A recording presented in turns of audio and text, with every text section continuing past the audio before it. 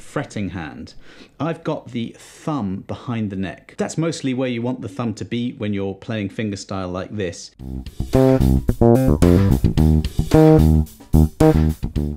I have to twist a little bit to get the first finger onto the low C and the little finger onto the high C. The thumb is directly behind that first finger. And I've got this diagonal movement going and keeping the wrist as straight as possible. It can't be completely straight, but not bending too much because that's going to give you problems in your technique further down the line. So, and pains, you know, tendonitis, things like that.